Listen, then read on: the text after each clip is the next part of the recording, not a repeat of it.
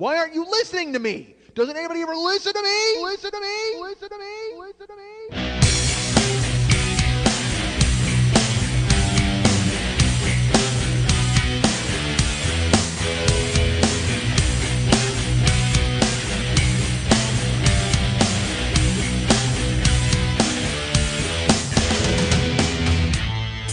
Blame yourselves for this fucking word salad that I just spit all over the goddamn plate. This is all your fault. You and I like me. That's it. I like to. I work under the cover of darkness because I don't need the rest of society to look in my eyes and know that is a bad person. Hey, what's happening? Mike Schmidt, 40 year old boy podcast. Folks, I don't know if you know this about Los Angeles. On Tuesdays, all museums are free. That's right. I was just informed by Lily Von Stupp that apparently uh, I should get some culture. And, uh, but by all means, don't pay for that culture. Oh my God. You want culture, pal? That's fine. Every Tuesday it's for free, but do not pay the other six days, please. Hold your culture till Tuesdays. That's when you should better yourself as a human being because it's free. Uh, I, I gotta be honest. I thought all museums were free. Shouldn't they all be free? Shouldn't you just be able to walk? I mean, the whole point is they want you to walk in and look at get culture. They want you to be a, a person who knows about paintings and statues. Pay for those paintings. and Fuck that. I'm not a sculptist or a painter. uh, painter? Why did I put a PA? What, that, is that like a piano thing? A painter. Uh, Harold Pinter. His plays are fantastic. Uh, I got culture. See, folks, I got goddamn culture. Uh, I have no culture. All right. Uh, speaking of culture, our culture is failing right now. Everything's going to hell. I showed up here at Lily Von Stupp's house, and we just spent the last hour talking about how the American dream is over and everything has failed. And I can't decide, folks. I need to know. I, I have no idea if that means the American dream is over for uh, for people such as myself and Lily Von Stupp, or if it's over for society as a whole. Because I mean, I, I tend to feel that it's over for everybody and everything. We're all just marking time, and you know me, I love chaos, so I'm waiting to see what the fuck is going to happen. I have no idea why people haven't armed themselves. Oh, I'm, I'm look. Some of you have armed yourselves. All right. I, I, I believe me. If anything ever hits the fan in this country, I'm talking zombie apocalypse, race war, whatever the fuck happens. I can tell you exactly where I'm going. Riverside, California, to Eric Butterfield's house. That's where I'm going, friends. If you don't know Eric, Eric was the guy who basically told me to start doing this show, and so now I take all of my cues from life from Eric Butterfield. And also, Eric is a uh, he's a gun aficionado, and uh, I think aficionado is a far too fancy word to use for people who love guns. Shouldn't I just say nut? I should probably say he's a gun nut. But uh, he took me out shooting. You can go ahead and buy year one, and you'll hear all about it. But uh, I, I had slide bite, which just healed this week. What if that? What was that the case? It'd be awful. Hold on, I lost an ear. That's not good. Is it, uh, uh, folks? I apologize. You know the new rig, the new rig setup. Uh, oh, oh, is it, oh, it's going now. All right, there we are. Yeah, hi, I'm back. You folks, but you folks can hear me fine. Look again. I, you got to recognize I'm talking to me. All right, I'm I'm the the only person listening to me right now is me. So if the ear goes off, I'm just like, oh shit, the the ear got faded. Uh, and then I suck all of you people into it. And by all, I mean some. And by some, I mean none. Because there's nobody listening. We all know that. Uh, all right, folks. So I, uh, yeah, I am heading out to Riverside and hiding behind. I, I will wear a skirt. I'll just, I, seriously, whatever he needs, I'll wear gingham. Whatever you need from me, Eric. I'll wear a gingham dress and just protect me from whatever the fuck is happening. Like I said, zombie apocalypse, race war, zombie race war. What if that happened? I don't know. Actually, when I think about it, I hope that's not the case. What I hope, look, that's why we should all hope that the zombies take over there because there's no racism once the zombies show up, right? Black or white, everybody's fucking lunch to those people. The zombies don't give a shit. What if? How horrible would that be? Oh my god, how horrible would that be if the zombies came back and they decided they were only going to eat black people? We'd be like, oh really? Racist zombies? God damn it! We thought I thought it would be utopia on Earth with the zombies. All I had to do was avoid zombies, but no, I still have to avoid hate. Oh Jesus Christ, zombies! Don't be picky. Uh, and no, I'm not making a dark meat, white meat joke. I'm not. Take that, and and I I'm offended that you even thought of it, folks. I'm offended you even brought it up. You should be ashamed of yourselves, God damn it. I'm I'm happy I only heard that in one ear. Take that. You people muling about with your horrible jokes. Awful. Uh racist zombies. That would be just terrible. And what would they do? How would they do it? They shamble up and they see, you know, see a black guy and they, they fucking wolf him. Then a white guy just walks by and the zombies are like, "Hey, thumbs up!" Oh, racist zombies. That's that's really that's worse than a zombie war, a zombie apocalypse. A racist zombie war. Uh, because you would think that would be the one time when all of humanity could get together. Uh, that would just, oh my God, that would make racism even worse. What if zombies came back from the grave and they only ate black guys? How bad would racism be on this planet? Every white guy would be like, hey, uh, Ron, why don't you go check the mail? Oh, why does Ron have to check the mail? White guy should go check the mail. Terrible. Leave Ron in the house. Uh, Ron, this mythical black guy I just invented. Uh, as opposed to Jerome, who was of course the only black guy in Nebraska, which is from year two. Buy it, folks. You'll hear that. That up to that was one of my I, I- up till that moment that I said that joke. That might have been my favorite joke I've ever said on this show. Buy year two and find it. It's like a racist joke needle in a haystack. It's a Jerome in a haystack. That's what it is. It's a Jerome in a haystack. Uh, we this country needs this country, this world. You know what? I I speak globally now, folks. We do not need racist zombies. And if the zombies do show up and then they're racist, we should that that I it should have the other effect. All races should come together and fight against the racist zombies. But you know there'll be lazy like white white supremacists who are like, "Oh, this is great." No, it's not great. The stench of death is in the air. Yeah, but there's no black guys. Oh, fuck you, white supremacists. You're willing to deal with the stench of death as long as there are no black guys? Yes, we are. Oh, awful. Fuck you, Utah. Uh, and I'm not even sure if Utah's uh, all white supremacists. They're not, right? Is it Idaho? Uh, it's Idaho. Uh, Utah's off the hook. Utah's Mormons. They're they're not. They're just them supremacists. They're not even like Utah doesn't give a shit about white or black. They're just Utah. Utah's the best. Uh, it's like a high school. Utah's a big high school. it is. They all dress the same in those skinny ties. Uh, except for the players on the Utah Jazz. Like literally, I just pictured. I've never been. Look, I was in Utah twice in my life. I did a show in uh, in Kanab. No, I I actually got sick in Kanab, Utah. I told that story on here. Horrible. Uh, and then uh, uh, I did a show somewhere in Utah. Where the fuck was I? Or no, maybe we were driving to Montana. Maybe we just had to drive through Utah to Montana. I have no idea. Uh, it's hard to remember, folks. I'm white. I was just white. I, I, it was because the weird thing is when you cross the border into Utah as a white person, there's you actually hear like a heavenly choir sing, and it's like you're astonished by it because it's like, oh, what is this supposed to be my this is my ancestral homeland? But then you look around, like, nope, there's just a heavenly choir on the side of the road. They've hired them to try to convince white people to stay. Uh, because that's all Utah is. It's just white people on bikes and the Utah Jazz. That's all Utah is. Literally, it's just uh, Paul Millsap walking through the street and a bunch of white guys on bikes zipping past him. Uh, I picture Utah's. It's got to look like uh, like Vietnam. You ever see on Vietnam when they show traffic and it's just this wor- the horrible traffic and everybody's on bikes with like three family members stacked on top of each other's shoulders. My buddy uh, Paul Gilmartin does a great joke about that. Oh, he's hysterical. By the way, Paul Gilmartin has a podcast called Mental Health Tales. I don't know. I'm, I'm making it up. Mental Health Tales sounds like he's sitting down with a book and opening it and telling you the stories of the people who are deranged. it's like a fireside chat as he talks about the, the past crazy. Today we talk about Jeffrey Dahmer. Oh man, he was crazy, right? I think he was. Yeah, he had his moments. Uh, folks, it's all going to hell. We all know that, right? And again, I can't decide if it's just if it's going to hell for everybody in the world, or if it's just going to hell for old people like me. Because I look, I was, I just, I again, you know me, I'm full of mirth, and so I see what's happening and I see it all falling apart, and I'm willing to just kind of smile and go, "Yep, it's all falling apart." And I, because I looked at Karen this week, I literally, I looked her in the face and I went, "Do you know how lucky we are not to have kids?" And uh, aside from the fact that I can still fuck around and do this kind of stupid shit. And she's like, "What do you mean?" And I said, "This world, everything has gone to hell. Like it's never going to be the same. Everything is completely fallen apart." And look, I, I've had this feeling before. Okay, when 9/11 happened, I was I would walk around for weeks. I walked around going, "It's never going to be the same. Things are never going to be the same." And uh, fuck, everything's the same. It, it's worse. It's actually worse. Uh, the only thing is we we've lost two tall buildings. What a bummer. That's a drag, and a bunch of people are still. And uh, although this year's the 10 year anniversary, I'm sure there's going to be a uh, a solemn tribute or something. Uh, which uh, I used to do a joke about that when they. Uh, all right, I think I may have even done that on here. Did I tell that joke on here?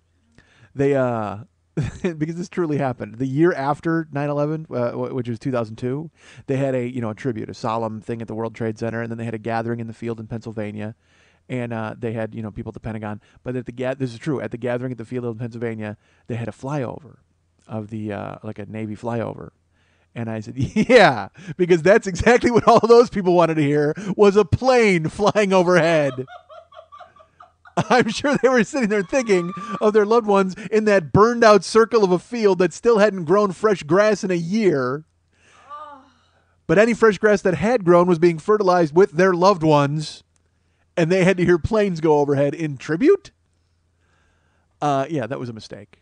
Probably a mistake to bring it up here as well. Uh, and there was only I did that. I used to do that joke, and there was one guy. There was uh, uh, my friend Andrew Thompson who would tell me he just he would go, dude, that's the greatest joke ever. He goes, and he would say to me even a year later, go, you have to tell that joke. And I'm, like, and look, I never wrote any material, so I was like, yes, of course, I'll drag that out. It's not like I can come up with anything new for Christ's sake.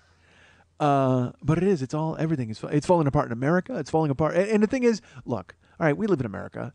It's falling apart here, but relative to other places, I understand it's not falling apart as bad as it could be. I, I just, uh, you could. It could be worse. You could live in Korea and you could be getting your cock measured surreptitiously while you're asleep. That's right. Uh, did you see the fucking story this week, dude? Fuck. All right, look. All right, let's talk. I hate to do this to you. We're going to talk about cocks for a second, but brace yourselves. Lily's Lily's thrilled. Uh, apparently, there was a study this week that that came out, and they said that men who have a uh, their ring finger on their right hand, if it's longer than their index finger, they're likelier to have a bigger cock. Okay, and uh, I you see that headline, and you're like, okay, well, I don't know why you're looking at your hand. What is that going to measure? Uh, we already believe me, we can see everything you got. It's big. but uh, but I, I when I because again you read that all right the the headline and it's like uh, you know penis size relative to finger length or whatever and you're like well that's interesting I'll read it then you read the story and first of all I should tell you this my wife has always maintained that by the way everybody's always like big feet big hands and and uh, big ears big nose whatever the fuck everybody's got their own fucking theory but uh, Karen Karen has always decided that you could go from wrist to tip of middle finger and uh, and get an idea of what you're looking at. You know, Karen's that's her deal. She's always been like, you know what, it's middle finger. She goes, if you go wrist from middle finger, then you know exactly kind of where you're at. I'm like, all right, that's fine if that's if that's the way you want to figure it out. Uh, but then they so this, I tell Karen this week, I go, hey, your study, yeah. Now I'm going to do the whole show with a clenched fist. By the way, I should say that literally, Lily went to grab my right hand and I, I closed it into a fist. So I'm doing this whole show with a clenched fist, like I'm Bob Dole. Like literally, I'm gonna have to hold a pen the entire. Ah, I gotta hold a pen the entire show. Ah, you're not gonna be able to find me out. Uh, so yeah. So I read this story this week, and I'm like, Karen, you know what? You're not gonna believe this. Someone's got your your uh, you know, your theory, but they took it like to a, a different degree. Uh, and then, but then when you read the story, you're horrified by the story. Here's what happened in Korea. Okay, uh, men would go in for an operation, like uh, to get, uh, uh, op- and- when they would go under, when they would be anesthetized, anesthetized, uh, they would measure their cocks. And they said uh, right when it would happen, they would go ahead and they would uh, they would take their hand and measure their, their fingers, and then they would stretch their cock as long as it would go while they were right when they they said they had to do it right when they would under because they you know whatever. I, I don't know if you your cock goes crawls into your body cavity when you're uh, under anesthetic. I got no fucking idea. Again I'm asleep. Uh, but they said they would stretch because they said stretching a flaccid penis will indicate exactly how long it gets when it's when it's erect, and they would measure it. And their study showed that men with a longer ring finger than index finger had bigger penises than uh, than other guys. And uh, I mean, first of all, it's Korea. Uh, I don't know if I need to elaborate on that for you folks. Second of all, why? Who thought? Who decided this was the plan? Who? The, who? What? Look, I've I've had surgery before, and now this all this does it doesn't. I don't even give a fuck. You know what? Because according to what they have, then I'm I'm okay. You know what I mean? It's like according to their well, the way they figure everything out, it's like yeah. See, like I said, as long as the ring finger is longer than the index finger, you're fine. According to what they said, which is which is great. But I, I, if you're look, if you're familiar with the the physiology of the cock, all right. I, I have to think that your cock knows that you're in surgery and he's scared, so he's going to shrink up a little bit. So you're you're losing a couple inches just because your cock is scared of surgery, right? This isn't fair to these guys. It's not fair. It's not fair because they didn't sign a release. It's not fair for a million reasons. And of course, they had to do it in fucking Korea because again, they're the entire uh, third world country. Fuck all that. That's like an eighth world country. What I, I didn't even let's put it. The most surprising thing of this story when I heard about it was that they knew how to do surgery in Korea. I, I- you know, as far as measuring cocks and all that, we've been doing that since the goddamn Stone Age, no matter what country you're in. But the fact that they would take the time to actually have, oh my God, these guys know how to actually, they have medicine in Korea? I didn't know that. I didn't think a great and fearless leader allowed them to have medicine. Measuring cocks on the operating table. I mean, like, because and, and how how deep seated does that get into your fears? Really? I mean, surgery's bad enough, but now you got to realize that there's a fucking puppet show with your cock when you fucking fall asleep. Really? I came in to get my gallbladder removed and I turned into fucking Cockla, Fran, and Ollie? Thanks. You gotta be fucking joking. Hands off my cock while you're trying to take out my appendix, you dick. And the best part of the story is the way they described it, because the way they described it, they knew they were doing something wrong. The second a guy would go into the anesthesia, a guy would spring into action. I think they actually used that phrase. He would spring into action and measure the fingers, and they would stretch the cock and, and then, uh, you know, measure that. And then they would laugh for 45 minutes. You know they did. I know it because that again that brings up every horrible thing. Because when you go to sleep, you don't know what the fuck is happening. So now you're gonna go under anesthetic. You're gonna fucking you know. All of a sudden they put a pizza on your stomach. They're eating Domino's. Everything fucking goes. You know, Kramer's throwing junior mints into your balls. I mean, what the fuck? You have got to be shitting me. They stretched my cock out and, and measured it on the goddamn table.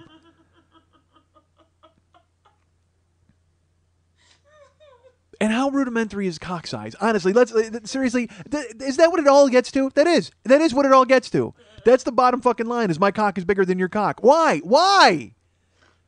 College degrees don't fucking matter. Great job, nice, nice carton. Who cares? How big's your cock? Honestly, and that's what it gets to. And what's wrong with people? Because I see like blind items about celebrities. They're like, oh, his cock is small. Ha ha ha. So what? He's rich. He's a fucking celebrity who's rich. What the fuck do you care? God damn it. It's over. It's over. It's over here. It's over there. Because you know they've been measuring cocks on operating tables for years here in America. But we had the good sense not to try to tie it to some bullshit medical study. See, in Korea, they do it because they think they're trying to be productive. Over here, they just do it because it's fucking hilarious. The second any one of you, any man who has ever had surgery, the second you went out, don't, uh, please. Are you kidding me? You know that surgical table? You know it turns upside down and then your balls or eyes and your cock's hanging down like an elephant nose? And you know they're taking pictures of it. Every doctor in the world has a scrapbook of fucking cock puppet shows. You know they've got it. How pissed are American doctors at Korea right now? Why the fuck did you unveil the secret? What, to prove some bullshit study about cock size and fingers, you dicks? God damn it. We've been doing this forever. And now, now people are going to worry about it. I guarantee every time you went under, they fucking turned that table around and boom, you had a little safety Sam right there between your legs. That's right. Anybody who knows what I meant by that, write me and tell me. I should just fuck it. I should just tell them. No, I'm not going to tell you. You know what? Find safety Sam. When you, when you find it, you'll you'll laugh. Because when I found it as a freshman in high school, I was uproariously entertained. And for the next year, Safety Sam figured into everything that Mike Scott and I would talk about. It was hilarious. Uh, I'm not sure if 45 year old you will find it hilarious, but 13 year old me found it fucking hysterical. And honestly, 44 year old me right now thinks it's a beautiful thing as well. Eh, 43. I'll be 44 soon. Don't want to age myself too quickly. But I don't get it. I don't, you know, well, I uh, the, everything is predicated on cock size. Everything, the entire society, everything. They should just, they should just ab- abolish money and you just have to flash your cock when you go in to buy milk or whatever. And the, the, the, guys with the biggest cocks get the best milk. I mean, because that's all anybody fucking cares about in the society. Because everybody's all worried. They're so worried about it. Is it your cock big enough? Is it not big enough? It's just, dude, let it go. If it is the person you're with happy with it, then you're fine. But no, you have to wonder whether or not they're telling you the truth. Fuck you. That's your hang up.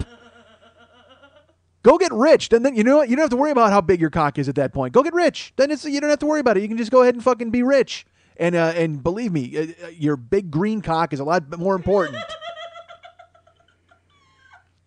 It's like they put in those X-rays machines at the airport where they they said the TSA had the pat down, but then they're like, or you can opt into this uh, X-ray machine, and everybody's like, oh, people will be able to see my genitals. Well, who the fuck cares who sees your cock? Everybody in the world sees your cock. The only reason people don't want their cock to be seen is because they're worried that it might not be big enough. Are you really that worried about the size of your cock that it won't impress the fucking eight dollar an hour schlub at the fucking airport? The fuck do you care if that idiot's like, haha, your cock is small? So fucking what? I'm flying to Detroit. You're sitting here, you fat bastard. I don't get it. People are just all fucking upset. And now, dude, fuck TSA. All right, look, I.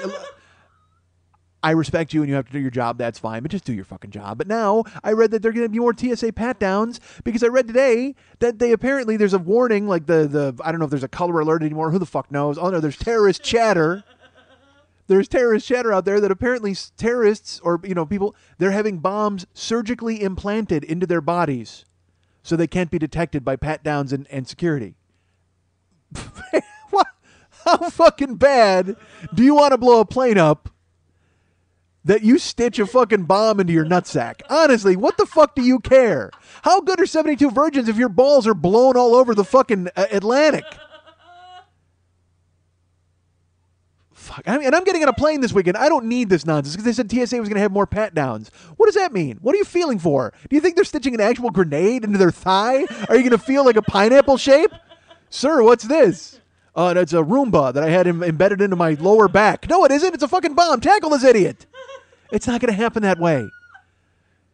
It's more shit they made up. Eh, They, they, they, they heard chatter about it. I think Al Qaeda, again, because fucking Osama's gone now, they don't know what the fuck to do. So they're just making shit up and trying to see what, what it's like a barium enema where they'll, they'll just say something and then they, eh, they see where it exits and then they see the trail it left.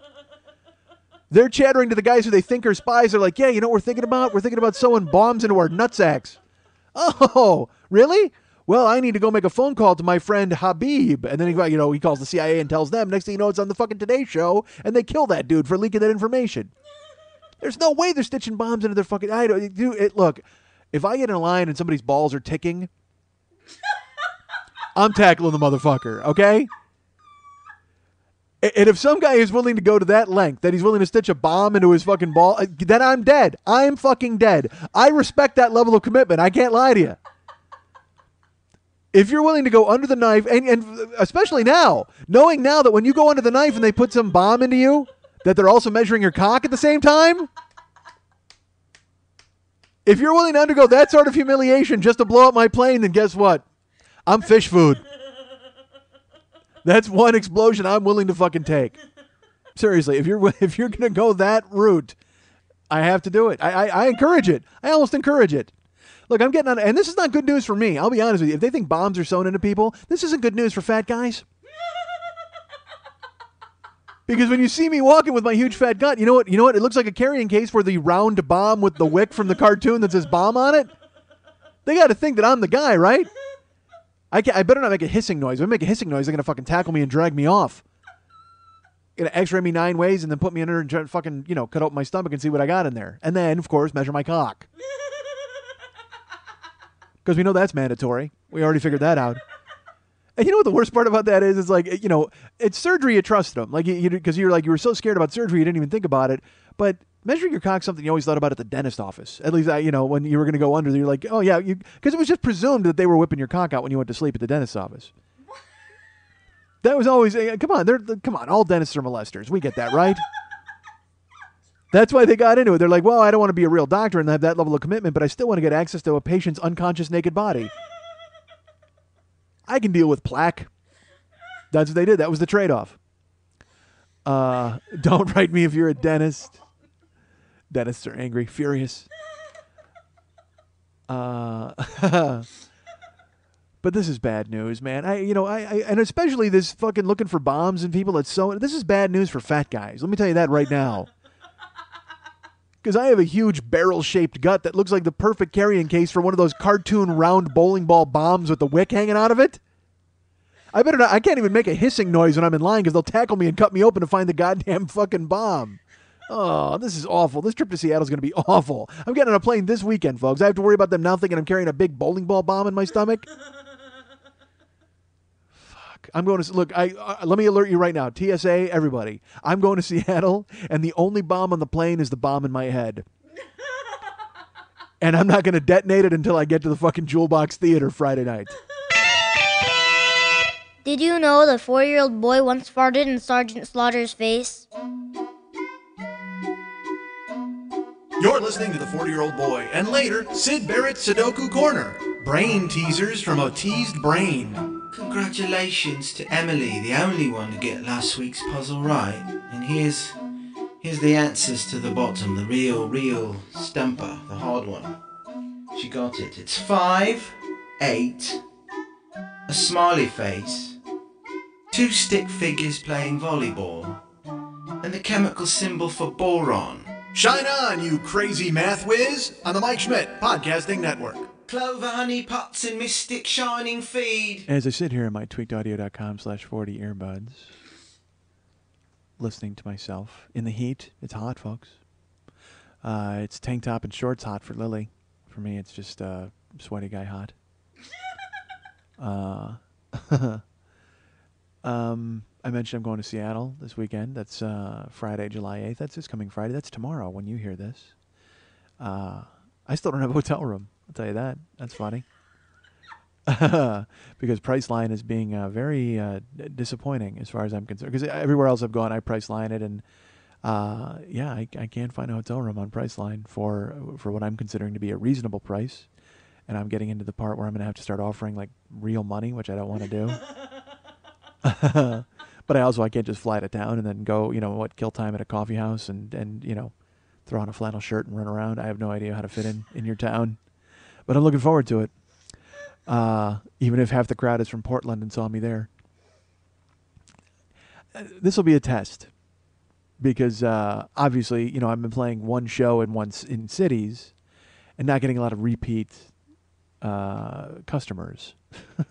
Not the ice cream man. The fuck am I talking about? Uh, so I'm I'm interested to see how it plays if I'm doing because you know they'll uh, uh, because they've seen my tricks. You know what I mean? I know that sounds stupid to say, but they've seen what I do, and so I think if they see it a second time, they're gonna be like, "Oh, that oh, we we thought that was unique to that particular performance," and it's like, uh, well, no, no, I mean, I kind of have to, you know, I tell the same stories, but I I might tell them differently a little bit. I don't know. We'll see. We'll see what happens. As now I warn everybody not to come to the show. An idiot. Uh, so that, yeah, this is a show you should only see once. oh my God, you don't want to see it twice. So in my in my head, I'm like all freaked out about it because I'm like, should I throw in different stories? Should I make the show different? Should I change it? Uh, eventually, as it takes shape, I can and will. But right now, I can't because I'm not doing it enough to change stories. That's the thing. It's like, you know, and I'll tell you this too. It, uh, I found out there's a show after me in Seattle. I didn't re- I didn't realize that there's a show at my show's at 7:30 in Seattle. There's a show at 10. So uh so I I'm probably going to have a lot less room to fuck around in Seattle. Uh, which I didn't realize, but that's fine. Uh, or maybe I just go the other route. Maybe I just keep talking. And all of a sudden I've got a band accompanying me. That'll be fantastic. That's great. Actually, that works out pretty good. I would love to have my story set to music. Uh, I got to find out what kind of music they play to tailor my story accordingly. if it's a metal band, I'll tell like a mean story, but if it's like a country band, I'll tell some wistful story of America. Uh, I don't have any of those. I don't have any American stories or wistful stories, quite frankly. Uh, yeah, so that'll be uh, it'll be fun there. Sure, it'll be fun. It'll be fun. It's, I'm I'm worried about it. I'm worried all the time. I'm an idiot. What do you What do you want? That's what I do. I get worried. Um, you know what I'm going to do actually for this particular show? I'm going to bring tweakedaudio.com slash 40 earbuds and an iP- and my iPod and just and I will listen to my iPod during my show. And I will just I will kind of autopilot it and try to see if I can figure out a way to do that. I, I- see, of course, that's because I always say that like laughs uh, make the show better or different, or certainly make me go in different directions. But uh, that might not be the case. Maybe if I just wear the maybe I wear an iPod of just people laughing. that's retarded. That would be funny. Because then I'm killing. No matter what happens, I'm killing, folks. Enjoy yourselves in the audience.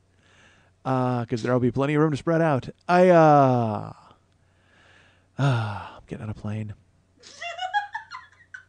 I'm flying Friday. Because I, I, I, it's so funny because it's all about selling tickets and trying to do that and get the show hyped. And you, you look forward to it and you're excited. And then all of a sudden when it shows up, you're like, oh, oh man, I got to do the show part. And that's where I get into trouble. It's so funny because when I would go out of town with Jimmy and I would be excited to go to bu- clubs and I'd be, oh, I'm going to Houston to play the Laff Stop. We're going to Baltimore to play the improv. But then I would get there and I'd be sitting in the improv and like, oh, I actually got to do the show part of this now. I I loved the buildup of getting booked and flying out there and all that kind of stuff. That stuff was really fun. But then it was time to go up and make people laugh. I'm like, oh no, God damn it! Because that's that just goes that says stuff about me. All right, look, that's just because I do enjoy it when I'm doing it. It's great. It's just, and I'm getting past it now because as I'm doing the one man, it's more about me and more about. But uh, still, you you go, oh fuck, I got to go up because you got to deliver, man. That's the whole point. Otherwise, you're you're nobody. You never get anywhere. If you don't deliver, you're not going to make it happen, right? What does that mean? If you don't deliver, you're not going to make it. Now sound like some idiot on a reality show. I watch. I, I, look, I don't like reality shows, but I watch cooking reality shows. Like I started watching Extreme Chef on the on uh, the Food Network, which is hysterical to me. It, all right, look, if you're going if you're going on a fucking reality show, recognize that you're going to be on a reality show. Don't bitch about the conditions that you're under because you're on a reality show. Extreme Chef is called Extreme Chef because what it is is basically they take three chefs and they make them cook in the desert. And they have to run for their canned goods, and then they have to cook on a, like a small fire, and they got to cook. It's just, it is, it's ridiculous. It, it, it tests nothing of you as a chef. It, literally, recognize that. If you're a chef and you go on Extreme Chef, all they're checking to see is if you can maintain your composure through these conditions. It has nothing to do with who you are as a fucking chef. But the first show, they were in some cul-de-sac and they had to cook like an appetizer on an engine block, and then they they had rainfall on them. And this guy, there was oh, we hated him. He was he's look when you watch reality shows, you hate everybody on them, okay, generally. But uh, then you'll see particular guys who drive you crazy. This guy had a he had a Salvador Dali mustache, like a curly mustache, and uh, he's you know who he is? He's pretentious, tattooed chef asshole. The guy that that got into chefery because he's like, oh, you know what? I I'm gonna I'm a chef. He wants to tell people how much of a chef he is. He doesn't give a shit about making a chiffonade. He doesn't care about making a soup. He wants to tell you he's a fucking chef and wear his coat. So uh, he shows up on Extreme Chef and then he's got a like you know they here's a rusty razor blade to cut vegetables with and it's going to rain on you. And he's like uh, in my restaurant i have five burners and a bain marie and uh, i can't believe i'm a five star restaurant guy. Why am i out here doing this? Because you signed up for it. Salvador fucking dali of the year 2011 if you want to make molecular gastronomy and create a fucking cappuccino foam in your fucking restaurant stay there and do it don't sacrifice to go on television and then bitch about the fact that you're on goddamn television, forced to cook in the middle of a street. You're doing it because it's called Extreme Chef. It wasn't called Let's Make Salvador Dali Look Like a Good Chef. Because that's the show you wanted to be on, motherfucker. But guess what? That show's not airing because nobody cares about you. Stay working in your restaurant, work hard, open your own restaurant, and maybe then you'll get some respect. But no, don't bitch about the fact that you got to cook shrimp in a Camaro engine. You signed up for it, motherfucker. We don't want to hear you crying about it. And then the rain, they made this fake, fake rain like a rainstorm. It literally poured on them as they're trying to chop vegetables and make food. And uh, his fucking Dali mustache wilted. No. His wax could not hold up to the elements of Extreme Chef. Take that, Dali. And Karen and I hated him, actively hated him, like saying we how much we hated him watching it. Oh my god, I hate this guy. And dude, I have I have really retreated into a doddering retirement. I have I have I wake up. I'm not kidding. I, I don't watch TV. I have uh I haven't watched the Daily Show in like three months. Like I I'm from March, April, May, June. No, July. Four months. I have like 55 daily and Col- Daily Shows and Colbert's on my DVR. And uh, it's forcing me to juggle all the other programs and move stuff around because I just I, I I became avalanched by them and I'd never missed them. I have never missed the Colbert Show ever. I've seen every single episode up until March uh, first. And now that's how far behind I am, March 1st. And I'm like, well, I'm going to watch these, right? Because I can't bear to fucking erase them, but I'm never going to watch them. Even if I was to watch eight a day, uh, fast forwarding through, because I don't watch it, whatever. You don't need to hear my fucking strategy for watching television. What the fuck is this? Here's how I do it, folks. I sit down in a chair. Shut the fuck up, Dali of television. Man, nobody cares. That- that- That's all. Everybody's self-involved. That's it. That's all they want to tell you about. And I'm self. I'm the only guy on this podcast. Why shouldn't I be self-involved? What am I chastising me for? I blame you folks for listening. You've encouraged this for four goddamn years. If you didn't keep coming back and downloading in tens of hundreds, in teens, if my downloads weren't in the teens, I would not still talk to you people. If I was still in single digits, I would have quit a long time ago. But once it went over 10, I knew I had to keep talking. Fuck. So I'm that far behind. But now when I turn on the television, literally the first thing I do is I turn on Food Network. I just I in the morning because I'll get home in the morning from the graveyard gig and Karen will wake up and I'll go and I'll we'll, like have a, she might make an egg or two and then we'll sit down and I put on the Food Network. That's it. I, and that's all I watch. And it's like I'll because Karen I, and I I actually thought about it today where I went. I need to ask Karen if she's sick of this. Like if she wants to do wa- watch something else because we'll sit down and watch TV and I immediately turn on the Food Network and I'll go okay it's either this or and then I'll put on the guide and I'll look for the cooking channel.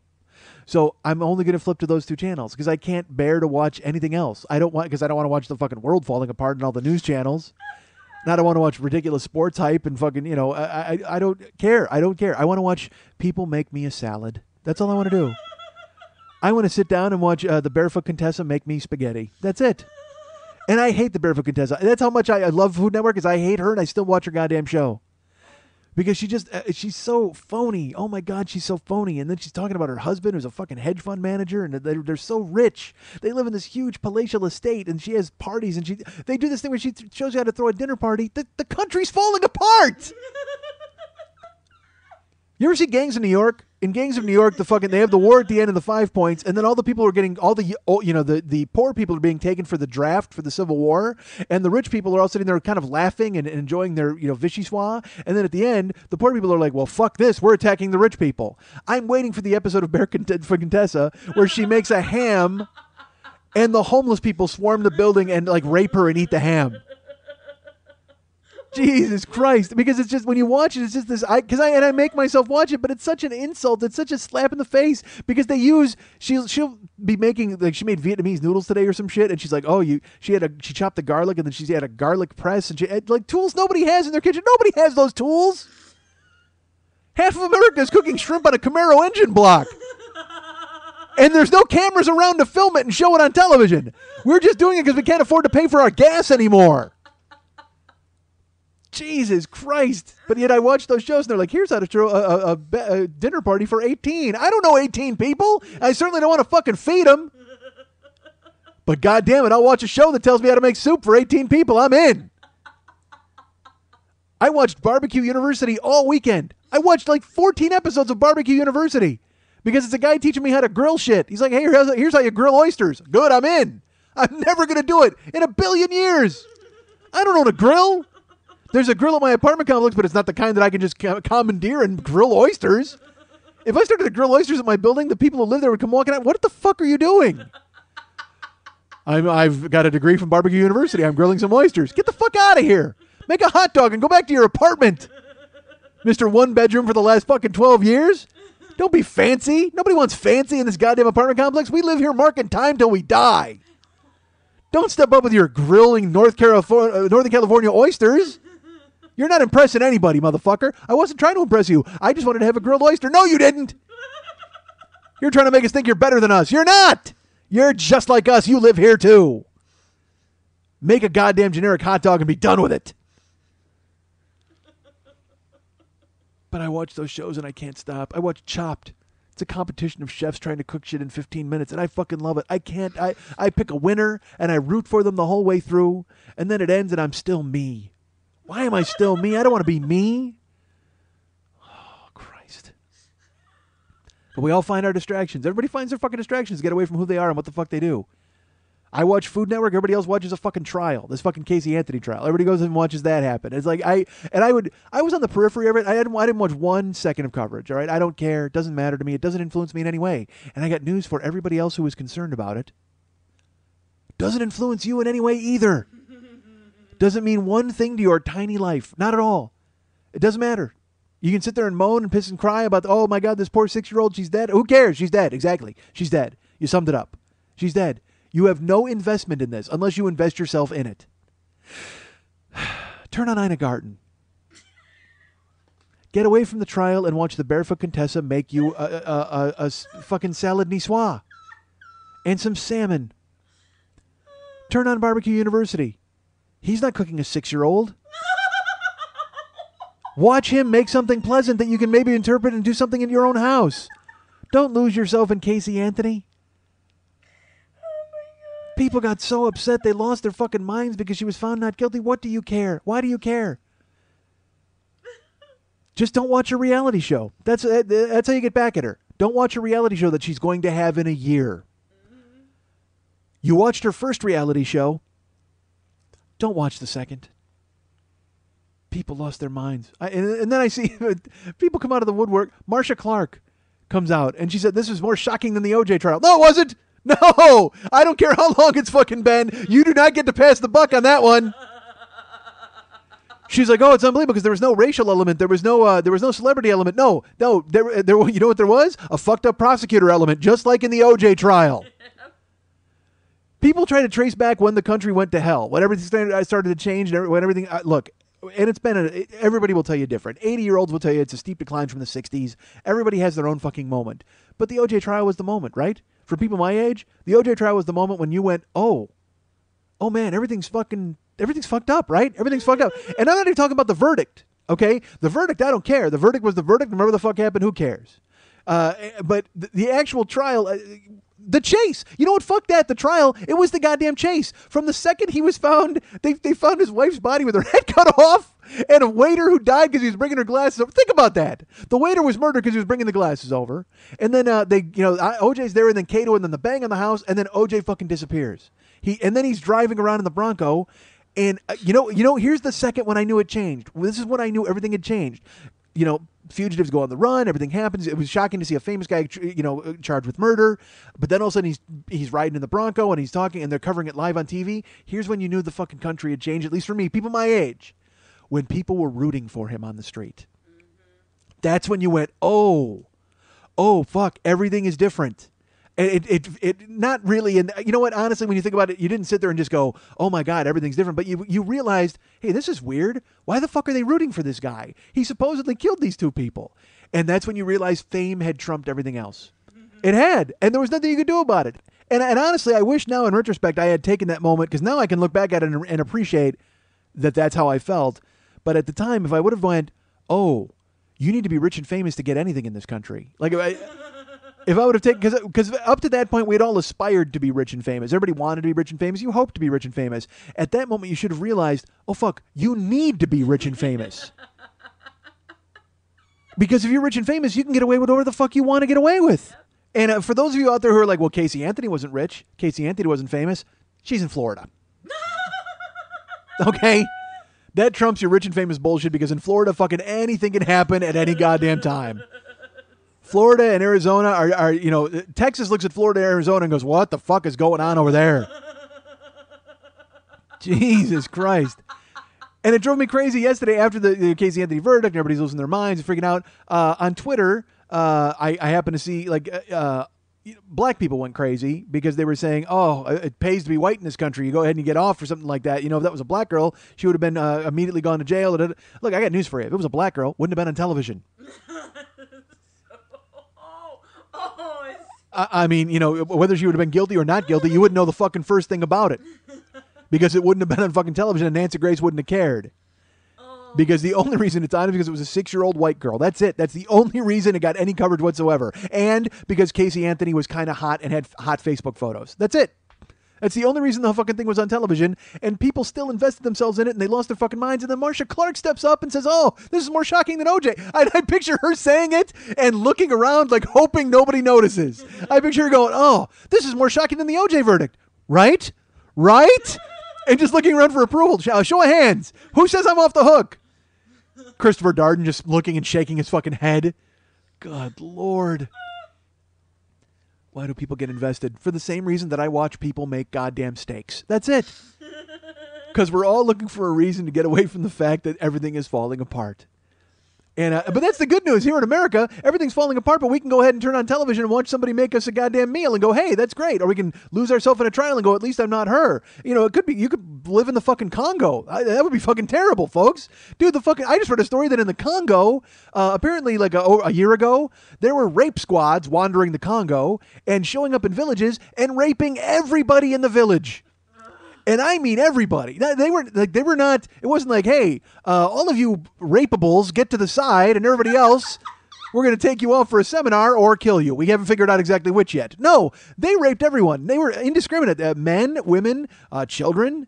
Uh, everybody, everybody got raped. They showed up, and everybody got a turn on the ride, on the rape ride. And uh, now, it's terrible. I know it's awful. I mean, but again, we're not in the Congo, so again, uh, it- it- you know what they need in the Congo? You know what they need? DirecTV. That's what they need. If they had a satellite dish, the second the rape squad was like, hey man, let's go raping people. Hold on a second. Ina Garten is making the most wonderful Vietnamese noodle dish. Everybody calms down. Trust me. Everybody would calm down if they could just watch the barefoot Contessa as she made lamb meatballs. They wouldn't think about raping an entire village. So these dudes fly around. They don't fly around. There's not a plane. Oh my god! What if there was? Dude, they have a rape plane. They fucking paint it on the side. People see it coming. They're like, "Oh no! It's the rape plane!" You just see it in the air. Look! Oh, dude, they're not a band. It's not like they're on a tour. Bill Graham is not presenting the Congolese rapists. That's not happening. I don't know how they get around in the Congo. They have a rape. Well, rape vans are in Haiti. They have a rape plane apparently in the Congo. They probably just get on horseback, right? It's the Congo. They're raping entire villages. They can't exactly have progressed to having Priuses. It's not like the Congolese rapists are showing up in Priuses and and doing damage. Although that would actually be that's a mixed message. If you're a bleeding heart liberal guy who wants to feel bad for those people, you're just like, well, the Congolese at least they're saving the environment as they do this. No, who's the enemy in that instance? Well, certainly they're raping entire villages, but at least they're saving the environment. Yes, because they want to emit they don't want to emit greenhouse gases because if it gets too hot, they'll be too tired to rape everybody. That's why they drive the rape Prius. But these and I look, I don't know why I gravitate to these rape stories, but it's because he catches your eye. Look, I'm sorry. If I'm not watching the Food Network, I'm looking at the news, and if it's in the corner of your eye, you see rape in the margin, click. I click on it. So in the Congo, they rape everybody. They're going to villages and raping everyone. And then they leave. And leaving what can be, I assume, the most awkward conversation in their wake. That's got to be two days of looking at one another and going, oh, you remember what happened on Wednesday? That's got to be the worst day in a long time, right? For the entire village? Nobody was looking forward to that, and nobody nobody recovers after that. That's just a, you know, it takes a village to keep quiet about that. All right, that's what they do. So, because they do, and, but uh, apparently they reported it. All right, so that's that's why that's how I know about it. So uh, these villages, they were not going to sit still for this sort of behavior, and I don't blame them, because uh, not only is there raping occurring, but the plane is destroying their crops as it swoops in. Uh, I don't know what they're growing in the Congo. Um, you know, they should be growing fucking machetes to fight off the rape squad. Plant a machete tree, and when it fucking blossoms, just grab one and just sit there and wait. Uh, so then they rape everybody in these villages, and then the people complained, and uh, it's been like almost a year, and uh, nobody's gone to jail for it. Like one guy, I guess, got convicted for it, and now the rape squad's decided, uh, we're putting the band back together. because they told the villages not to say anything, and then the villages went ahead and spoke up, thinking there would be justice. Guess what? No, no justice, no peace, friends. And uh, and now the rape squads are they're firing up the plane and ready to go back out on tour. And I'm like, God damn it! Send them satellite dishes, please. Calm them down. Anything? What can we do? You can't do anything because the Congolese government won't do anything. That's the thing. And it's like, what do you do? Uh, does Obama make a phone call? Obama can't control shit here. He can't control shit in the Congo. And you just read about it and you're like, oh my, fu- I, what can I do? You wish, this is when you wish there was a Superman. You know what I mean? Just one dude who could go over there, or like Rambo. You know what I mean? Just one dude who could go and fucking massacre all of these dudes, and just and just uh, wear a cock necklace of all of them, and just warn everybody. You know what I mean? Just he should just gas their entire village, put them to sleep, and then put them under for surgery, and then stretch their cocks out and cut them off and make a cock necklace. That's what you do. Mother of God! So I mean, as bad as it is here, at least we get, we're able to watch a trial and watch cooking shows to distract us from the fact that our entire economy is crumbling and everything is fucking falling apart. Oh, but by the way, happy 4th of July. Happy birthday, America. Looking good in your old age. That should be our slogan. Instead of stars and stripes forever, it should be at least we don't have rape planes. At least your village is safe from rape. Because everyone's too fat and sitting around watching television.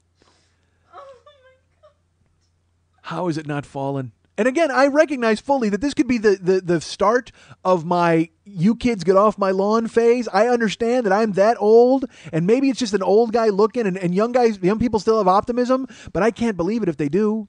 But the only optimism they have is they're like, uh, you know, remember, all right, again, I'm a grandfather. Please keep this in mind. But when you were a kid, everybody was like, "Oh man, I'm going to open a store, or I might open a restaurant, or I might go ahead and, and do, uh, you know, I'm going to build something." And now kids are like, "I'm going to invent an app."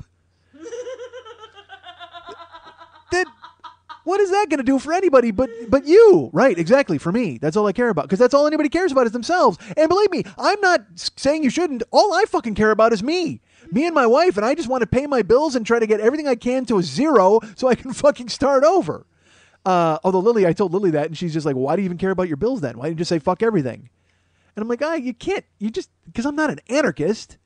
I might be a nihilist, but I mean, I you know, I might like chaos, but I like to see chaos around me. I don't want to be involved in personal chaos because that, dude, you know, that chaos isn't fun. That chaos, you know, if I look, if I want to be involved in chaos, that's like blowing shit up and and and you know, shooting people. That's fine. That's fun chaos. But chaos. chaos where you just let your bills lapse and then you got to deal with phone calls from creditors that's just that's like a million tiny knives of chaos that's that's like just cutting your like one wrist with a nick and bleeding out for like weeks and fucking weeks bullshit i want to sew a grenade into my balls and blow the fuck up if i'm on chaos i want it to come in one fell fucking swoop i don't want to just die slowly fuck that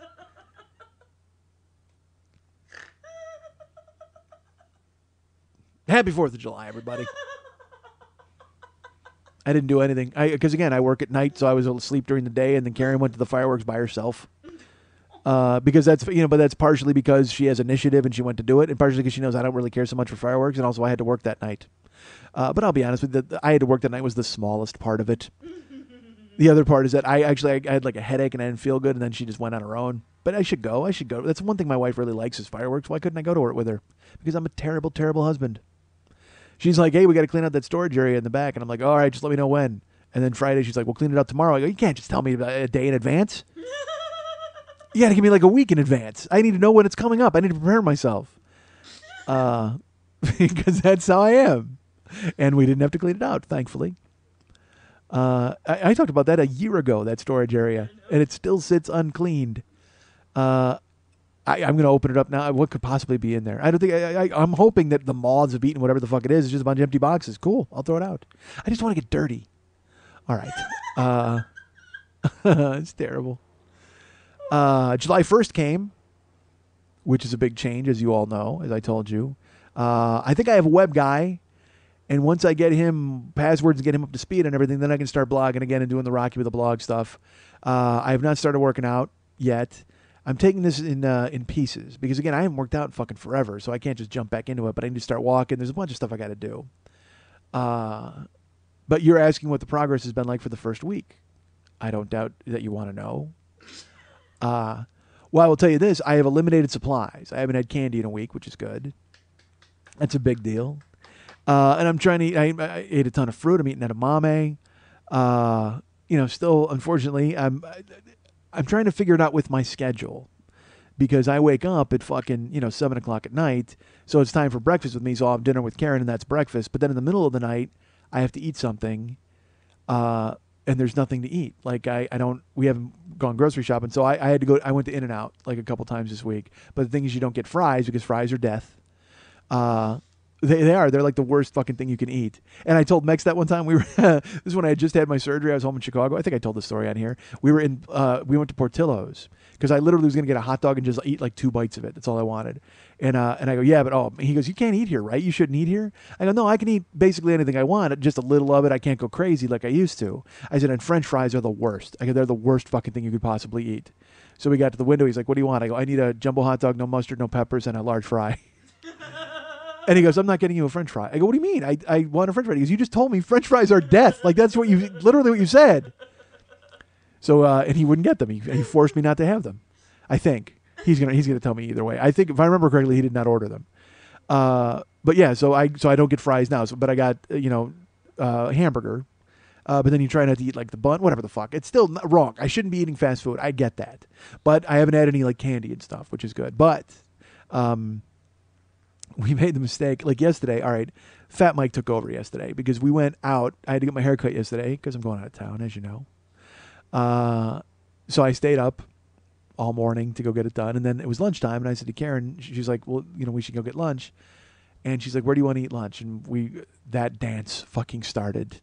So we're in the car figuring it out. So then we were driving, and uh, right by my house, there's a Shakey's. Uh, Shakey's has a buffet for lunch.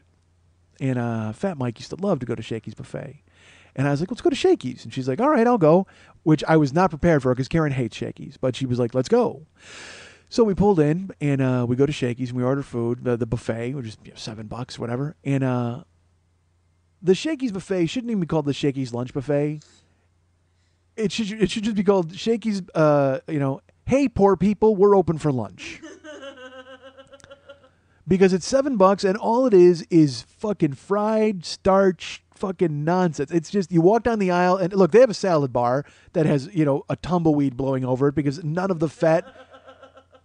Hispanic people at, at uh, eating lunch there are going for the salad bar. Okay, uh, the loneliest chickpeas in the universe sit in a container over there.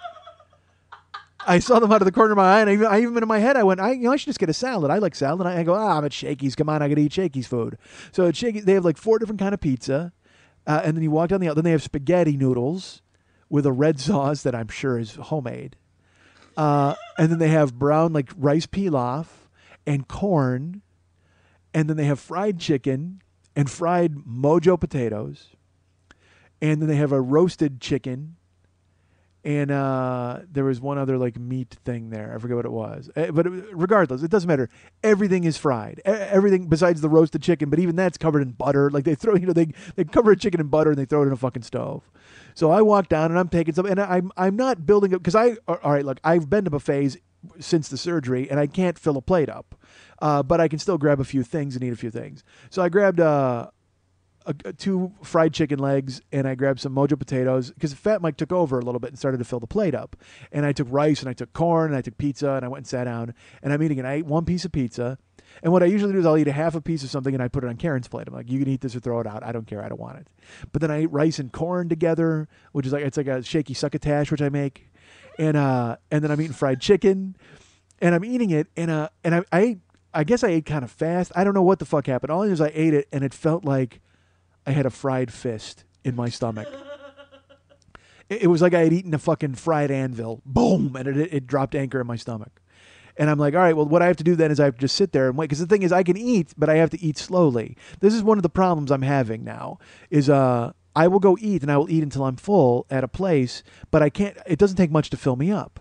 All right, so I'll eat until I'm full, and then we'll leave. And then an hour and a half later, I'm hungry because I haven't eaten very much. I only ate till I was full. What I need to do is I need to pace myself and eat slowly, uh, and make it work that way. And then in my head, just tell yourself you're not hungry anymore, stupid. Uh, because again, I still have a fat head, but unfortunately now I have the fat body to match. I had lost it, now it's back, but not like it used to be. All right. Oh, I weighed in. I weighed in on the first. By the way, I will tell you all, uh, 360. That's where I'm at. Uh, that's 20 pounds heavier than I was when I was fucking horrified with my weight. So 360 on July 1st, and it's only going to go down from there. I, I share it with you, not that you care, but I tell you just because. Uh, so then I go to Shakey's, I eat the chicken, and I'm sitting there and I'm waiting to kind of calm down. And uh, here's the never ending problem. And fat people might agree with me, even real people might agree with me. You're full, but you still want to eat stuff because it tastes good. That's it. That's that's the enemy. So uh, I'm sitting there and I'm like, uh, well, fuck, I could probably eat a couple more pieces of chicken or something because uh, you know I can't eat pizza and I know it, but I want corn and rice, whatever. So I'm, I wait. I wait about 20 minutes. Karen finishes her plate of food and then she go gets a soda and she goes to get some more food. And then I go, you know what? I'm gonna get more. So I go to the front and I get a, a chicken leg. I'm only eating chicken legs, but I get a roasted chicken leg. I get another fried chicken leg, and I eat uh, some Mojo potatoes, which are, by the way, fried potato slices. All right, literally breaded and fried potato slices. Uh, remember, I said French fries were death. Imagine round, flat French fries. Like they're just French fries with more area, surface area, and uh, they're horrible. They're complete death. They're almost instant death. But I still grabbed them and uh, and then I had some fried chicken and I had regular chicken and I ate corn and rice because I like corn and rice. And again, this is all food that fills you up and is starch. It's nothing. It's just this is the kind of food you would eat in the woods to survive. Like it's K rations. You know what I mean? It's like you would you would cook a, a bird over an open flame and then you would have rice and corn to stay full. Uh, so I bring it over to the table and I'm eating it. I eat the corn and rice and I eat the chicken, and uh, I start to get like groggy, like sweaty, groggy because I've, I've overeaten too much. And it's like my stomach is only a certain size. And here's the thing uh, I'm like a bird, folks. Because uh, you know how you're not supposed to feed bird, you're not supposed to rice at a wedding because a bird eats it and he swells up and dies. That's who I am. Because I eat rice and it swells up in my tiny stomach and it causes me to be full. Well, if I only ate rice, that would be fine. But instead, I ate I ate four chicken legs and some corn and some rice and one piece of pizza. Uh, so I'm sitting there and I'm starting to get sweaty and I'm in pain. Like it, it, it actual is physical pain. And uh, when this happens, there's only one thing I can do about it. Well, there's two things. I could realize that I've made a mistake and I could live with it and say to myself, you know what, dude, this is what you get for fucking up. And now you have to go through these trials and tribulations. Or I could do uh, the thing that I've uh, actually become very comfortable doing. I can go throw up. So uh, in my head, I'm like, well, I gotta just, yeah, I gotta throw up. That's what I gotta do because otherwise, I, it's literally I'm going home and going to bed. I'll never be able to sleep. I mean, like I can't. It's painful. I can't even explain. Imagine if you ate so much food, and we've all done that, where you've become overfull, and then imagine you had one more plate, and even worse, folks, it's 100 degrees outside. So imagine it's 100 degrees outside, and you have a belly full of rice and fried chicken and you're sweaty and you, you you feel disgusted with yourself and you're disgusting and you, you just you know you've made a mistake i gotta get rid of it i gotta launch all right uh, uh, because it's just it's terrible it's like uh if you try oh i don't want to uh, that's horrible never mind i'm not gonna make that analogy i keep wanting to make a fist analogy and i'm not gonna do it all right um so i just i gotta cough up this food baby i'm like all right i gotta get it out of me so uh I go to the restroom at Shakey's. I get and, and Karen uh, Karen knows at this point. She's she's pretty much aware of what's going to happen because uh, she'll I'll go. Hey, I have to use the restroom. So I get up and I walk over. And as I'm walking, there's two guys ahead of me, and they go in to the restroom ahead of me, and I'm like, oh, I don't want to wait in fucking line. But I go in, and one of them's using the sink, and one of them's using the urinal. So I go into the into the stall. Uh, now, some of you might think to yourselves, well, you're not going to throw up all those people in there, right? Uh, I don't give, I don't fucking don't care. All right, because uh, honestly, it's a bathroom. There's all sorts of horrible things going on in there. Anything short of jerking off is fair game. I'm not kidding, because you walk in, guys are, you know, the guys will take a shit in there. Guys will use the urinal, and they'll, blast ridiculous farts, and they're horrible, and they laugh. I, let's, ladies, I'm going to tell you this right now. Uh, you, unless you've been in a men's restroom, you've never seen strangers high five over a fart. I've seen it happen. I've seen it happen. Usually it's like at a ball game or something when some guy will let one go and everybody's like, ha ha, yeah, like they cheer and it's like, oh, it's all falling apart. That's when you actually root for the Congolese rape plane to swoop in and teach all these guys a lesson. So I go in and uh so I'm in the stall, and uh, I, I, you know, basically, look, we all know what happens. You have to throw up. So uh, I've got to take my right hand and go as far down my throat as I possibly can to encourage this fried chicken to take an exit route. Now, this might be a little late in the game for this, but I'm going to warn you, folks. This isn't going to be pretty. I just want to make sure you know that now. Okay? Uh, because you know I will tell you this: the throwing up thing. It gets to who I am as a guy, and it gets to why I'm in the situation I'm in now. Because I always take the easy way out. The smart thing to do would be, like I said, I had this surgery, uh, and I had decided for a year I was working out hard and I ate right and I knew what I was doing because I decided in my head I said, you know what, you've done whatever you wanted to do for you know 38 years. Now it's time to pay the check. Uh, and i did. I paid the check for two years. And then unfortunately backslid into a fucking spiral of ridiculousness and and opened up a new tab. Uh, i was always a guy who looked for a shortcut. I was always a guy who tried to take the easy way out. And that's who i am. And now and you know what just eating what the fuck you want and throwing up is a complete shortcut it's antithetical to who you should be and what you should be doing but it's worked for me, so I've made myself do it. What I need is I need somebody to teach me a lesson. I need something bad to happen because you know, that's the thing is the throwing up never hurt me. It never bothered me. I never wound up with any sort of you know uh, uh, residual illness. Uh, I didn't you know burst a blood vessel, and you know it was just easy. I would eat, and then I would go in and I would puke, and I would walk out, and uh, I would just throw some water in my face and it would be fine. And Karen would look at me and shake her head and go, "Did you?" And I'd go, "Yeah, you know I did." And she'd be like, "Ah, oh, you got to stop that." And I go, "I know, but it was so easy to fucking do." Let's go back to Shakey's. so I eat all this fucking fried chicken and rice and corn. It's all in my stomach, and it's just having a huge brawl. And I walk in. There's two guys. One guy's using the urinal. One guy's using the sink. I go right into the stall. And uh, I don't touch anything in the stall, as you know. I'm sure none of you do. Uh, I use my shoes. I flush with my shoe. I flush with. I kick the fucking seat up with my shoe. I touch nothing. It's a public restroom. It's a bathroom. It's disgusting. I want nothing to do with it, especially in a fucking Shakey's. Because everybody in that building is cramming fucking chorizo jalapeno pizza and fried chicken into their faces and then shitting it out in the bathroom. I want nothing to do with any of it. All I want to do is get rid of this fucking roiling cocktail in my stomach. So I head up. I, I just immediately I, I look. It's I actually have a routine. I know what I'm doing. I walk in. I kick the seat up. I bend over and you go right hand and you go two fingers all the way down your throat, and you just start uh, like put your fingers out right now as if you were uh, like Bruce Lee and you were pointing to someone to come fight you, and you just go like that. All right. Uh, look. Th- all right. This will when you're looking for when you're G spot hunting. All right. You know what I'm talking about and you get that move with your finger, the the two fingers. That's what I do. I look for the G spot in my throat to make my to, to food come. All right, because that's what I do. I put my hands down into my throat and I start moving my fingers around until I hit the food G spot, and then boom, I launch. I squirt. So uh, I mentioned it was going to be bad, folks. I apologize. So I go into Shakey's and I bend over and I jam my hand in my throat and I start fucking working my food G spot in my throat to get it to, to food squirt, and uh, it starts to come up and like a little bit comes up.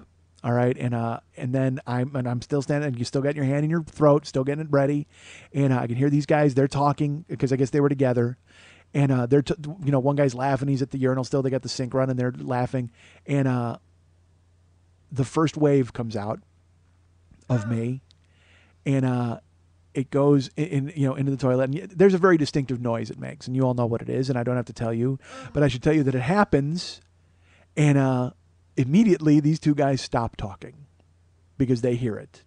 Okay, uh, but uh, that one comes out, and then as I'm I'm you know of course you take your hand out and wait, and then you put your hand back in to look for more to work the food G spot and get because there's obviously a lot more, uh, and uh, unfortunately, I look I've got my head like near the Shakey's toilet, and for some reason the Shakey's toilet is abnormally full of water.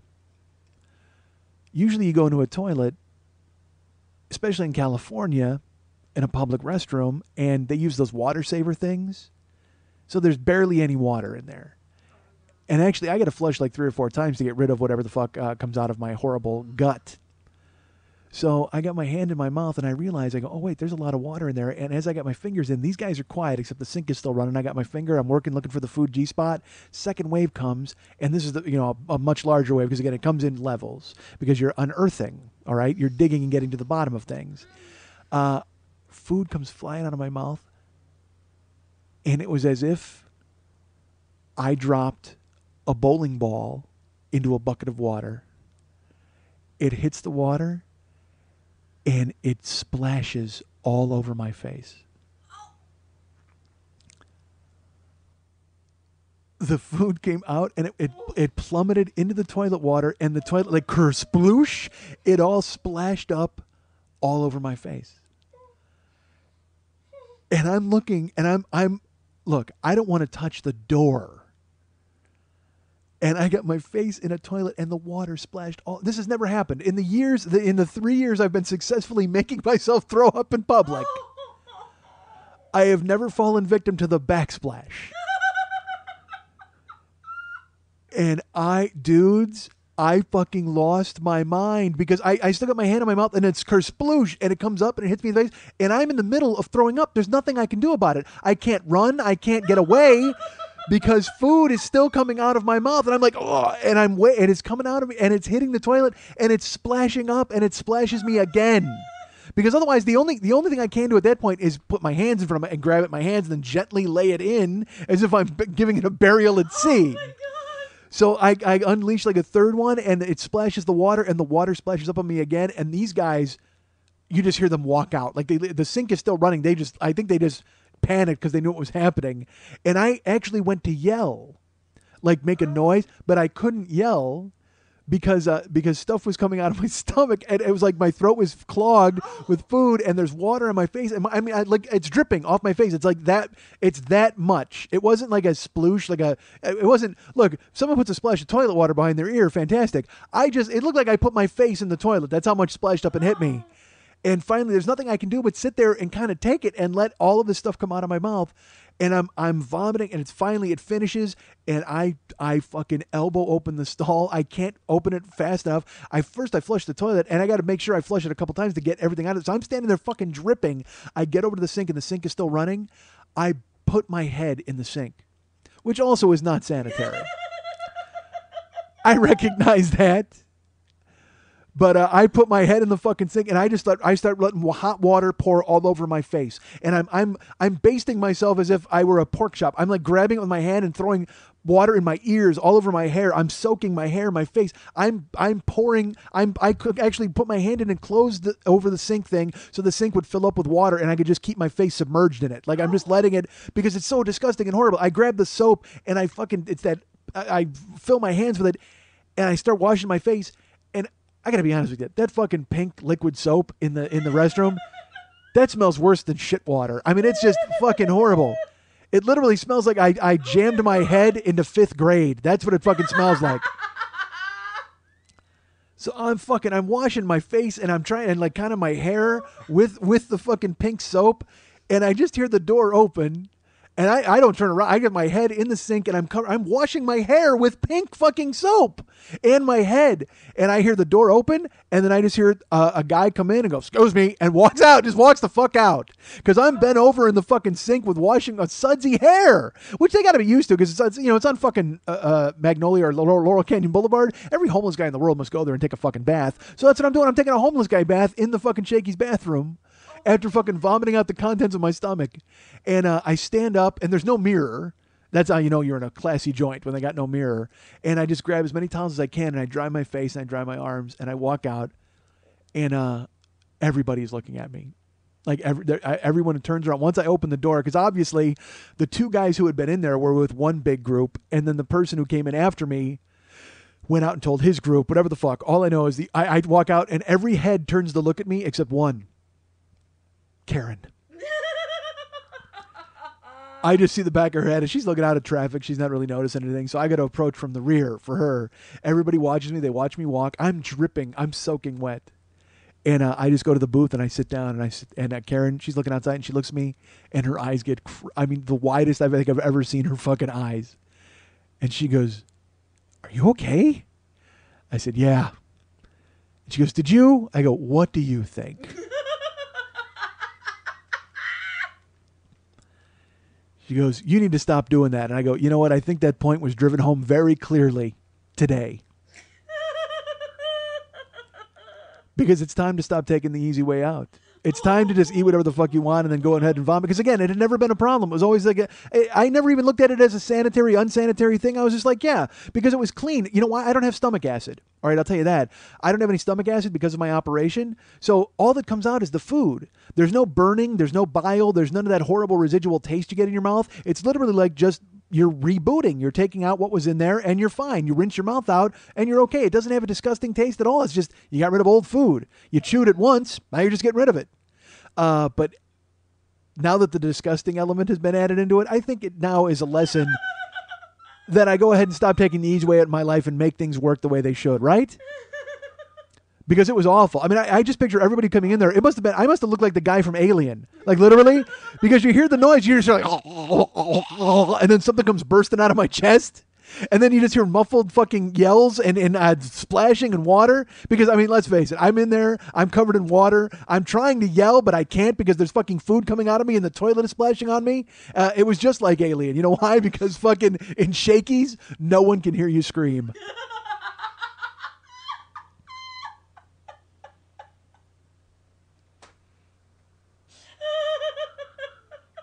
You guys can get me at Mike and MikeSchmidtComedy.com. You can follow me at twitter.com slash the 40 year old boy. You can be my friend at facebook.com slash the 40 year old boy. You can follow our friend Lili Von Schtupp at twitter.com slash Lili Von Schtupp or twitter.com slash MNTs. And if you want to write her a personal note and uh, find out exactly what time we're getting finished with recording today, it's a new record, folks. You can go ahead and write her at Lili at burlesque411.com. That's Lili, L I L I, at burlesque411.com. No, I'm doing something. I will. I will. I'm doing something. As soon as I'm finished. Yes, I'm using a coaster. Fans of the 40 year old boy, this is Parker from Pod Gods telling you to go to Zazzle.com slash 40 year old oh boy. Zazzle.com slash 40 year old boy. Please buy all this. Please buy. Please buy all. Please. Stupid. Want to remind you folks about the Monday Night Tease every Monday night at the three clubs on Santa Monica and Vine. It's the longest running, most successful, nakedest burlesque show in town here in Los Angeles. Uh, 10 o'clock p.m. Again, I said every Monday night, Santa Monica and Vine at the three clubs. You know, I happen to know the proprietor of that show. Her name is Lili Von Schtupp. Uh, she's a proprietor of this show as well. Hey, Lili. Hi. So, uh, how was this week's show? This week's show was an amazing show.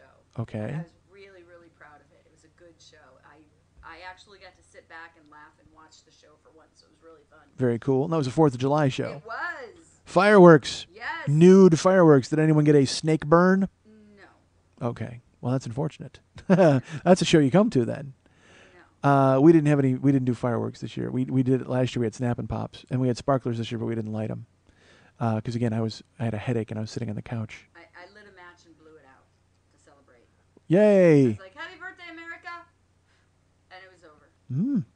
Oh Jesus! This is taking a sad turn for the worse. uh, so there's a show coming up this week, yes? Yes! And uh, is it a, uh fancy show? Is it a theme show? It is a theme show. Oh my God! What's the theme? Detroit rocks. Detroit rocks city, like Rock City. Oh, okay. So like it's all bands from Detroit and all chicks from LA taking their clothes off to them. all right. So all all the music will be like bands from Detroit. Yep. and then uh, all the chicks will be hot girls from LA taking their clothes off. No, no import band, nobody from Detroit coming. No, no. Do they even have burlesque in Well, Detroit? the Do they thing. wait? Do they even have clothing in Detroit anymore? I have no. It's the wild. They do. Here's the thing, though. See, the reason we're doing this. Show, Get closer to this. People have complained. The reason. The reason we're doing this show is it's Estella Detroit's birthday, and Estella Detroit is a great LA performer here, who moved here from Detroit. That works out great. So all right. So that's so it's a celebrating of Estella Detroit's birthday. Celebration her birthday, and we're celebrating it with all of the Detroit bands. That is so stupid that you're doing that. Let them complain. People complain. Like, people are like, oh, we can't hear Lili at the end when she does the plug, and this is a plug for your show. Why the fuck wouldn't we do it? It's silly. And again, like I said, we used to talk. Okay, well in that case, I'll just take the mic over here and I'll just keep it. the look on your face. Astonishing! I can't believe you. Yeah, the balls on you. The balls on you, which are ticking. Look, I touched the other mic. Oh, mic, good mic, good mic. stop. See, this is why we don't, folks. This is why. This is why we don't do it. Because she starts talking, and then she's like, "Oh yeah, I'm supposed to talk, right?" And then she talks a million times about nothing. Who she thinks she is? Me.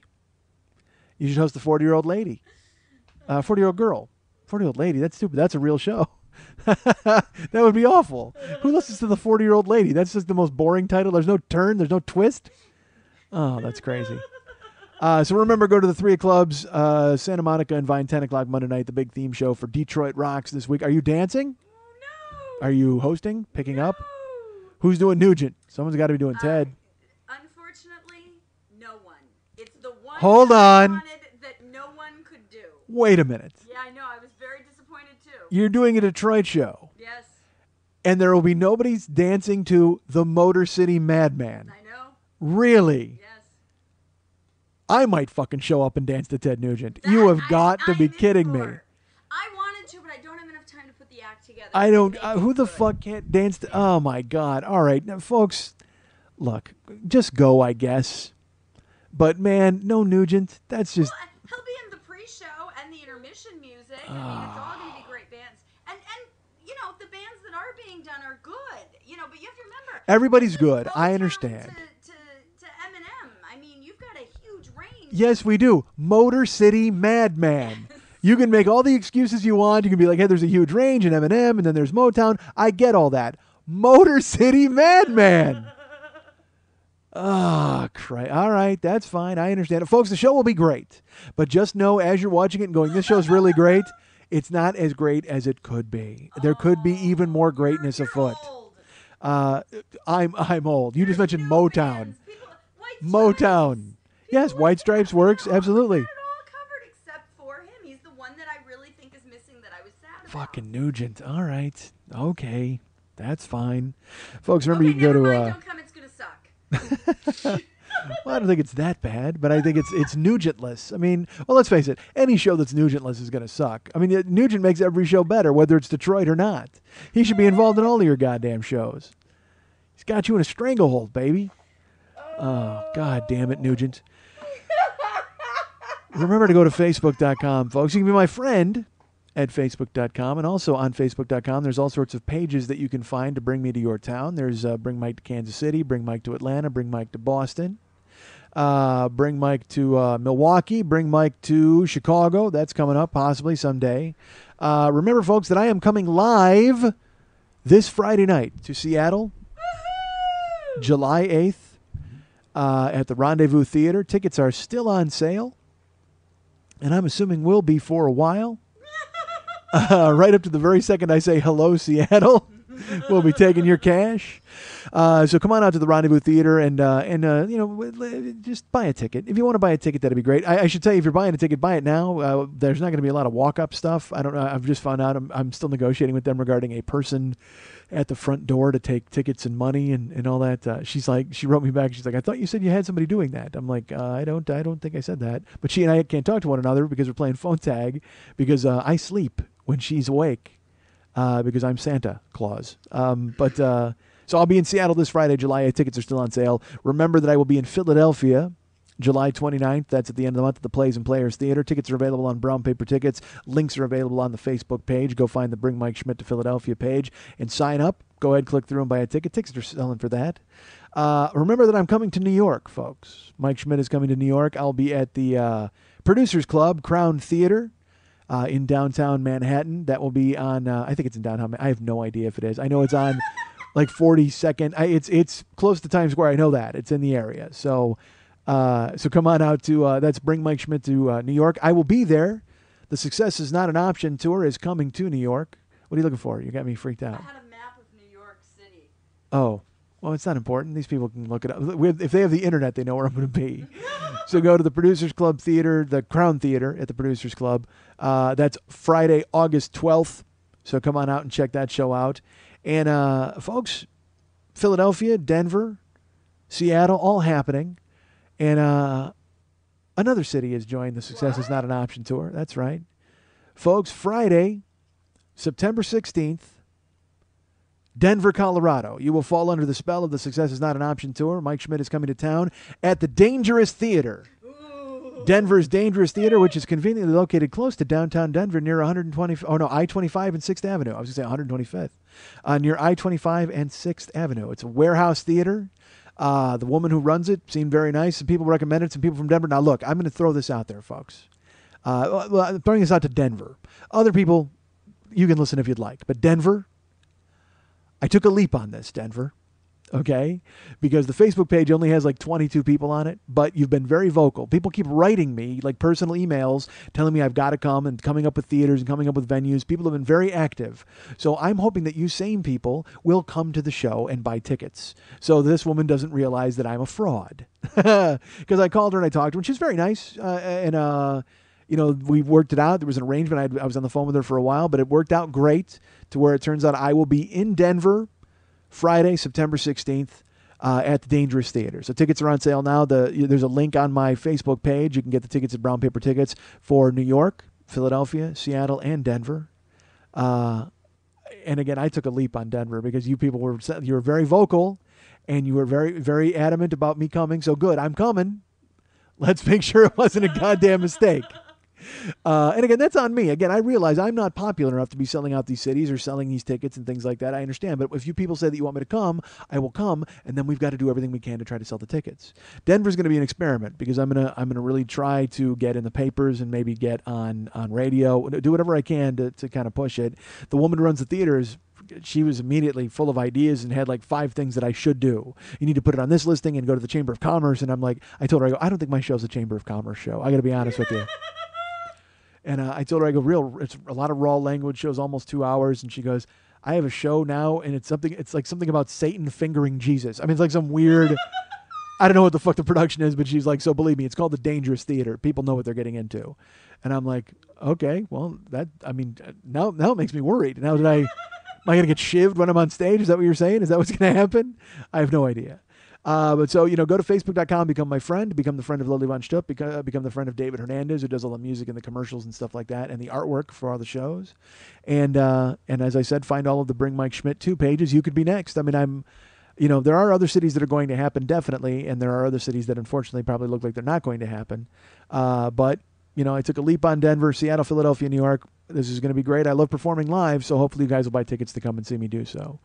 Uh, remember, you can go to MikeSchmidtComedy.com and go to the Joe Business page. There, you can purchase download sets of the past shows. You can buy year one, year two, and year three individually, or you can buy them all together in the Lord of the Schmidt set uh, which is of course the uh, the Fellowship of the Schmidt, the Return of the Schmidt, and uh, the uh, the two Schmidts, two Schmitties. So go ahead and pick that up. That'd be great. We'd appreciate it. Uh, also, you can go ahead and visit the Zazzle store for mouse pads and mugs. And uh, remember, the tweakedaudio.com slash 40 always uh, supports the show. You can make donations to the show. And right now in July, there's a promotion with tweakedaudio.com. First of all, if you want to just go to tweakedaudio.com slash 40 and buy earbuds or buy uh, cock ring watches, you can go ahead and do that. Uh, but if you make a donation to the show, I'll tell you on the uh, on the Mike Schmidt webpage on, on MikeSchmidtComedy.com in the upper left hand corner of every page, there's a little Schmitty. Click on it. You can make a one time donation to the show, or you can subscribe to the show and go two dollars a month, five dollars a month, ten dollars a month. I can tell you that for the month of July, if you make a one time donation for twenty dollars, you will get a free cock ring watch from uh, tweakedaudio.com slash 40. If you donate $40, you will get a free set of earbuds from tweakedaudio.com slash 40. And if you donate $50 or up, you get the anti-premature ejaculation kit, the cock ring watch, and the earbuds from tweakedaudio.com slash 40. So that's 20, 40, and 50 as far as donations. Uh, we appreciate everybody who donates to the show. And uh, please remember that if you want your full name on the show, you can go ahead and let me know when you make your donation. Someone like Anthony Parker who donated to the show. Anthony Parker, actually, he started the Bring Mike to Melbourne, Australia page, uh, which is never, ever going to happen. But uh, I'm glad Anthony Parker wanted me to come to Melbourne. I would love to come, but uh, you know, unfortunately, I don't know what it's going to be like to fly out there and perform for Anthony Parker, an Aborigine, and a kangaroo. I don't know how that's going to work. that's not going to go well. So uh, who cares? In the future, maybe it'll happen. But Anthony Parker donated to the show, and I appreciate that, Anthony. Michael Hines wanted his full name on the show. And I will say, I don't want to say exactly what Michael donated, but I will tell you that it ended in 01. There was a penny involved for some reason. Michael Hines, I, I think he thinks I'm the price is right. And he was trying to outbid people, and he did. He bid an extra penny. Uh, so good for Michael Hines. Thank you so much. And also Tim Q and Sabrina V. Thank you so much for donating to the show. That's Tim Q and Sabrina V, along with Michael Hines and Anthony Parker, donating to the show. Remember that there's the deal with tweakedaudio.com right now. If you make a donation, you will go ahead and win. We all will win. And uh, right now, I'm going to head home and try to win a hotel room on Priceline.com because I don't. I do not have a place to stay in Seattle just yet. I, I don't know. I mean, you know, at least the weather's going to be better up there. It's like 70 degrees, which is fine. So I could sleep on the street, I suppose. Uh, Although I was thinking I'm like, well, maybe I could just crash at the theater, and it's like, no, they have another. There's a band after me, so it's not like I could get a nap while the band is fucking playing. I don't know what the fuck to do. I, I really, I'll, I'll go to Priceline and dig around. And Lili's telling me she's like, Seattle's like the unfriendliest city, and she's like, eh, she tells me it's it costs so much money, and uh, I, am you know what? I'm finding out that that's probably true. I, I as I go ahead, the airfare was crazy, and the fucking hotels and all this. Lili said their state motto was like, "Fuck you, pay our rates," and uh and I'm finding that. Look, if even William Shatner can't find me a deal, I don't know what the fuck is going on. Because, dude, I got a room in San Diego for forty bucks, like a nice room downtown, and other places I went ahead and uh, you know Austin it was a little, you know, they were higher, but certainly not what. See, I've I've gone over what I've bid anywhere else, and Seattle's just like fuck you, like, and not even giving me that weird Priceline option of you know if you just go five dollars higher, we can find something for you. No, they're just like nah, fuck you. So uh, I am not looking forward to that game tonight because normally it was fun. It was like the Priceline can be fun when you put it in and it wins. You're ah, I won, awesome, and I won it for what I wanted, yay! Uh, but I'm not winning, man. I'm getting bent over by goddamn Seattle. This is fucking brutal. No one likes that. I can't like that Seattle. This whole thing has been a whiff.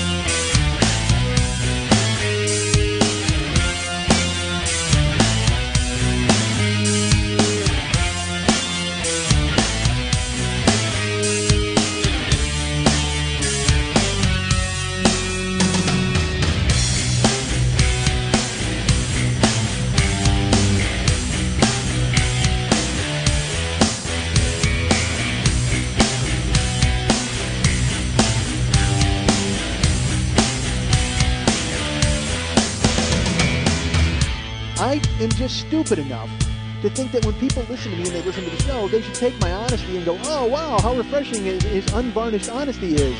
And uh, the fact that he's willing to have a scorched earth policy and have no friends or no fucking future is so refreshing and great. But then they'll say to me, hey, do you need somebody raped for the steak?